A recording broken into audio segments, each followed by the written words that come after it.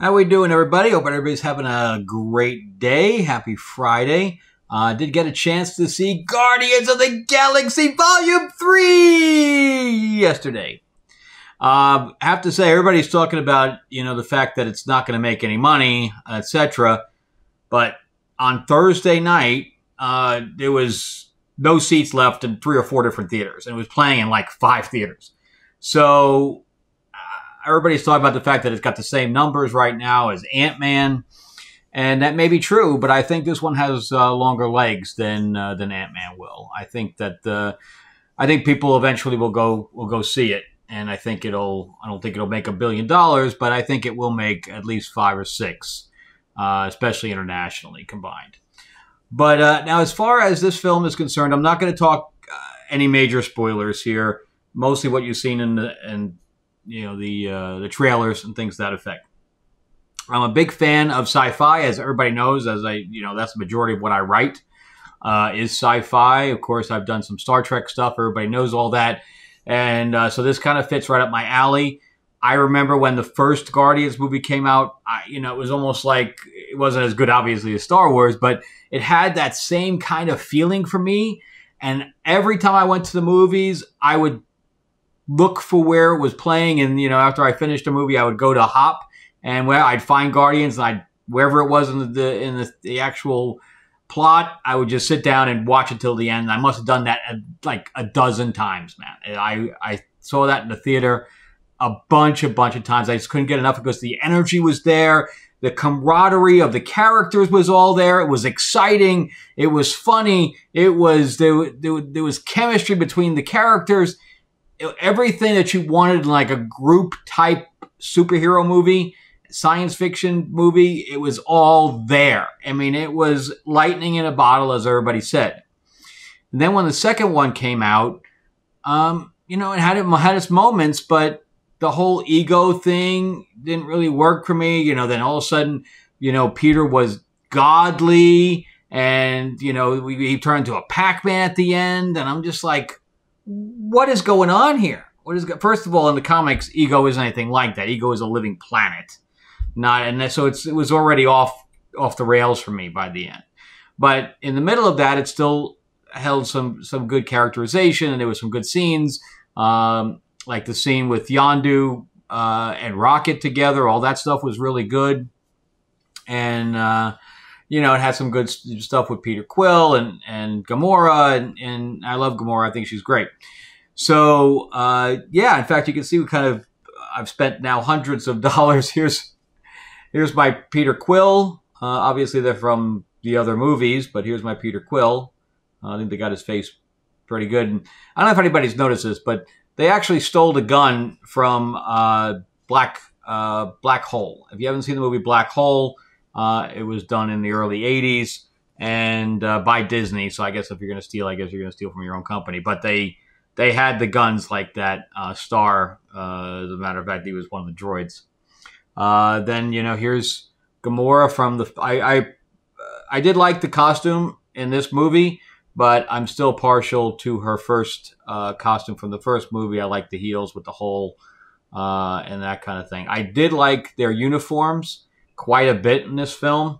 Uh, they match the comics perfectly. That's how they're, except for the boots, which I like the boots. I don't like the boots in the comics, to tell you the truth. So uh, they had like flaps, and uh, these were more military style boots. Uh, so I like I like their costumes a lot in this one. It just didn't work for Nebula too much because of her skin color was already blued, and she kind of you know fell in. That's why I like the red in this one. Uh, I lost her uh, holster. But uh, yeah, they did a they did a good job with these figures. But again, these figures are all you know two hundred and something dollars a piece. Um, so you can see I don't have uh, now the rocket I may get when it comes out, and I like the uniform with that was rocket was in in this one, and uh, and my mantis is already on order. It's uh, it's on pre-order, hasn't been released yet. Um, so yeah, so let's talk about this movie now in correlation to the others. So I felt like the second one was a mixed bag, and I felt the same way about this one. I like certain scenes in the in two, and I like certain scenes in this one, uh, but neither one of them, as far as I'm concerned, lived up to the first one. And this one's going to be a tough one to rewatch because, and I'm sure you've seen in the trailers, there's a lot of animal cruelty in this one.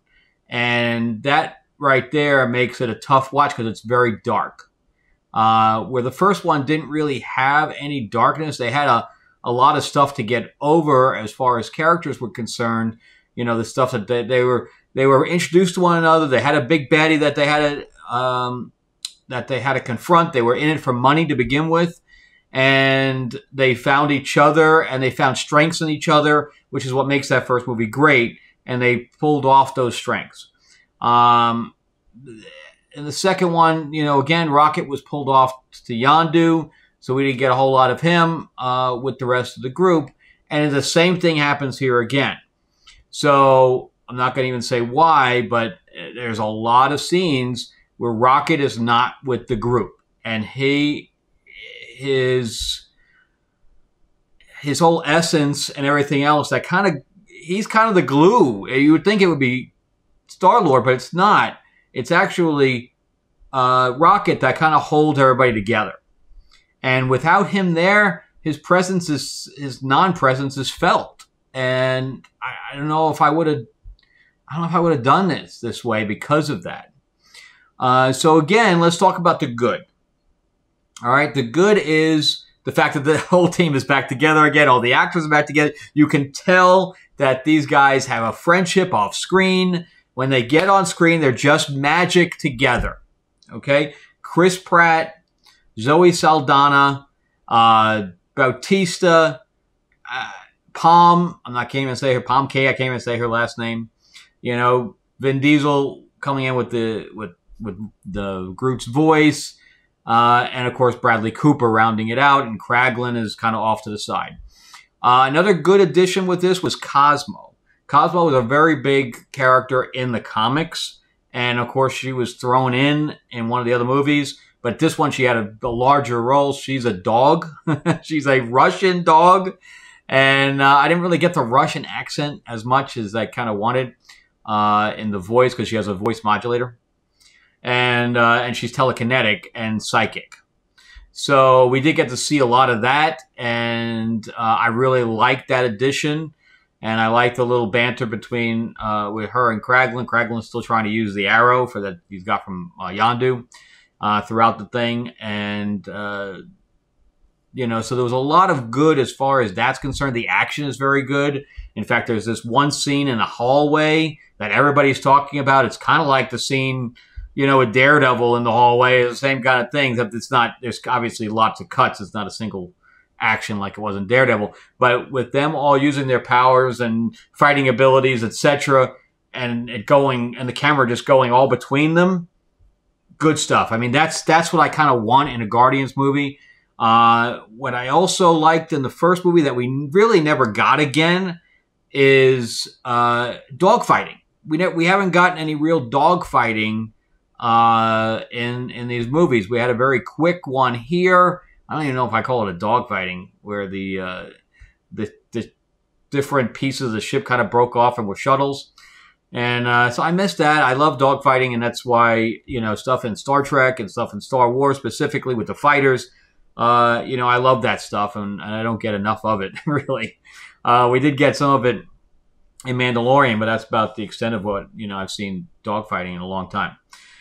But uh, so that's really the good stuff. Uh, the, plot itself isn't really a good thing for me. I, I didn't find it compelling because it's it was so dark and it was kind of like I go from quest to quest to quest to quest. So there really wasn't, uh, you know, a whole lot of character driven stuff that the plot was carrying the characters along instead of the other way around where the characters were making decisions that were affecting the plot. Um, so I, I kind of missed that with that. So let's talk about the meh. So uh, there's some stuff in here that I I felt was completely out of place. Uh, number one, if you're a fan of Adam Warlock, from the comics, you are not going to get Adam Warlock that you know in this movie. He was completely restructured into a child. He's one of the most the strongest characters in the Marvel universe, and here we had him acting like a child. It was really weird. There was really no reason for him to be in it. I understand what he he had an arc, and of course he was introduced in one of, in uh, volume two. Uh, at the very end, uh, I think they just mentioned his name. They don't. There's not the actor. The actor's fine. Uh, in fact, he's totally beefed up for the role. Um, I wish he had the cape on throughout the entire thing, but he doesn't. Uh, I almost wish he had the bare legs uh, uh, from the comics uh, because I always kind of thought that was kind of a Greek type of looking feel, um, and I kind of felt like he was almost a Greek god. Uh, so yeah, we don't get that here. Instead, we get this bumbling idiot uh, who is, you know, supposed to do a certain thing, and in the beginning, he almost destroys the one thing he's trying to get. I, you know, I don't understand any of it. Uh, so yeah, that was unusual. Uh, there's another scene uh, where the, the, first quest, uh, where they're in this. Um, I'm just going to say that the. I'm not going to say what happened. I'm just going to say the uh, uh, the atmosphere it's in. So they're in this space station, and that I think that whole area of things that could have been cut out. There were a couple of funny scenes in it between you know Drax and, and Mantis. I thought was really good banter. Um, but besides that, you know, I thought that the that didn't like that scene was kind of goofy. Um, the other thing that, and you're gonna be surprised by this because I love Gamora, but she was completely out of place here because of the fact that they brought a Gamora in from Endgame. And if you guys have seen my video on Endgame, uh, I, I hated Endgame with a passion because the there's so many plot holes in that and the time travel just did not work. It, the time travel just messed everything up. And now we got Gamora in here who was a time travel. Why, why didn't she go back home? And if she didn't go back home, how then now we have a we have a, uh, a dichotomy of of, uh, of time because if there if she ever goes back home, then Quill could never meet her later on. Right? So, you know, unless she's unless they're saying, okay, well it's a it's a different timeline in the past, but look how confusing we're all getting. You know, it she just did not need to be there. It wasn't the regular Gamora. She didn't she didn't act like the regular Gamora. And she just felt out of place because we were used to the Gamora from the other movies, and this one wasn't that. Uh, there is a, a couple of cameos. Uh, you know, you can look out for um, uh, Sylvester Stallone makes another appearance here. Uh, I wasn't as happy with the Groot here because the Groot is kind of beefed up in here as opposed to the thin, lanky Groot from the first movie. I like the first design the best. Of course, Baby Groot was always good too, but I, I didn't like the beefed up Groot. Um, and then, of course, we, uh, we talk about the animal uh, cruelty. And every time some of those characters were on the screen, I was just like, I, I just can't get over this thing. Uh, especially the bunny. So the bunny has, I'm going to show a picture of it, but uh, the bunny has a clamp on its mouth, so it can't, I don't know how it even eats. And, uh, and then on top of that, it, they, they cut the hind legs of the bunny off, which you see several times and then put spider legs on it. So it's a cyborg. All these things are cyborgs.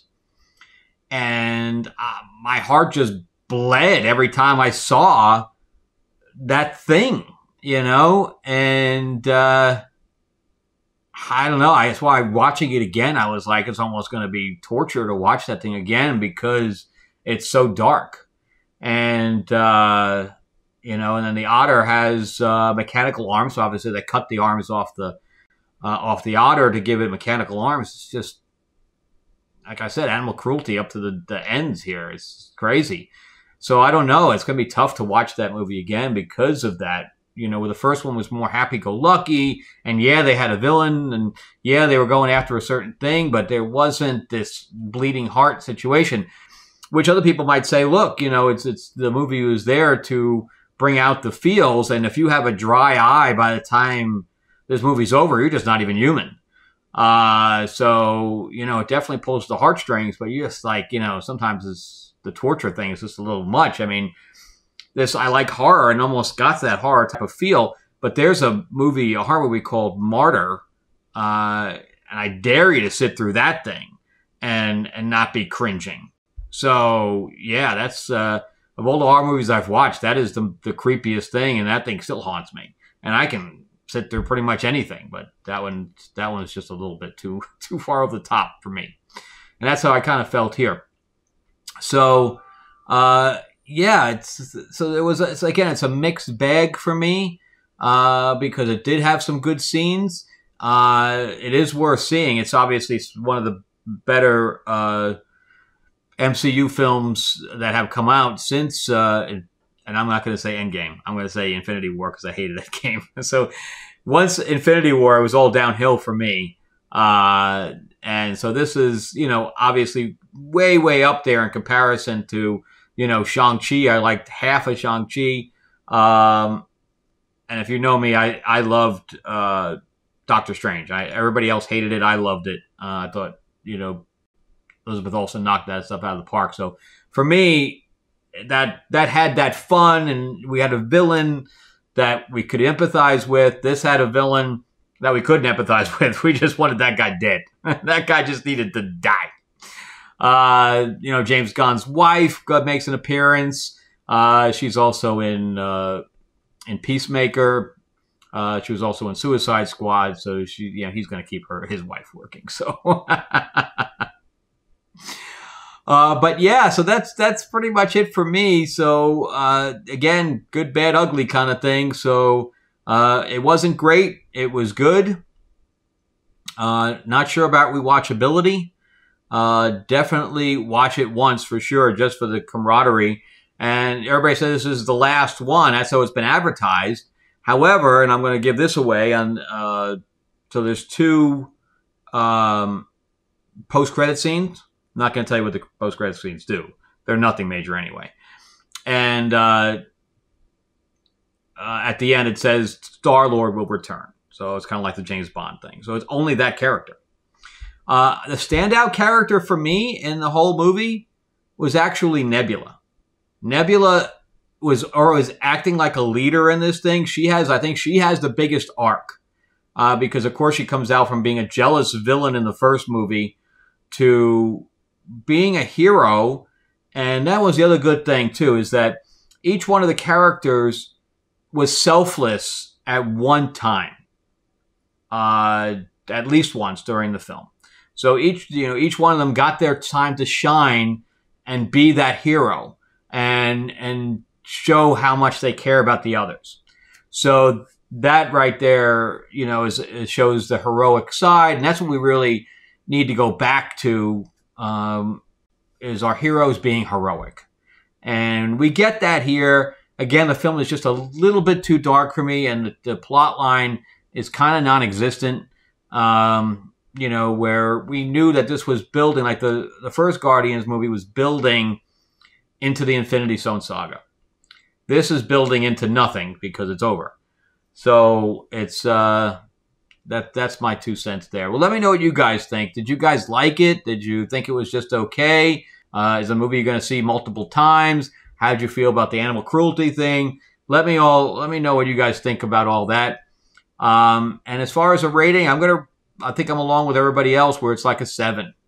Um, you know, where the original Guardian is more like a nine for me. and I think even with even Doctor Strange for me is like an eight. So it's it's it, you know it's so it's below that. And again, I think it's right on line with Volume Two because again, I had certain things I liked and certain things I didn't like in each film. So uh, also, uh, I'm gonna be. I just got the first draft of the video in for uh, Destiny Aurora and we I'm just waiting on the video to launch. So as soon as I I have to make some tweaks, but once I approve that, I'm thinking on the 10th. I think I can I can get this thing locked down by the 10th and uh, and launch. So then I'm going to put the link uh, for the Kickstarter below. Click on that, and you can click get notified about when we launch. And this way, it'll send you an email saying, "Hey, this launched. Go take a look at it." But you're going to be able to get the audio book, uh, the digital copies of the graphic novel, uh, the four book series, and uh, or you get printed ones, and I sign them. And uh, I'm going to be putting my orders in for at least the. I'm waiting on the, the hardcover for Tales of Ravenore, the Iron Witch, right now. And but I think I'm going to put my order in for the paperback, so I'll be able to get those out shortly. Uh, Lords of LA. Uh, I got a, a few more. Uh, I got one more cover to do, and I got a few more pages to get done. Uh, so after this one, I should be able to launch that almost directly. Uh, so and uh, Tales of Ravenore, I'm. You know, I think the only thing that's gonna hold me up right now is just getting the uh, the printing of the uh, the hardbacks done because uh, I should have the soft covers uh, probably within the next couple of weeks. So I could probably start fulfilling that within a couple of weeks. All right, if you have any questions, let me know. I will be checking um, everything, uh, all my DMs and and emails, etc. Uh, you can also reach me through Facebook on the Destiny Horizons page or my personal page. It's, I'm not hard to find. All right. Thanks a lot, guys. Have a great weekend. And again, uh, you know, I, I, hope you guys go out and see Guardians of the Galaxy. At least we make that one successful uh, for uh, the cast and crew who probably did a really uh, a lot of work to get that thing out. All right. Thanks, guys. All right. Bye bye.